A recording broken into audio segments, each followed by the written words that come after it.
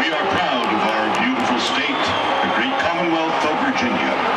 She stretches from the mountains to the eastern shore in all her splendor. And in those mountains is the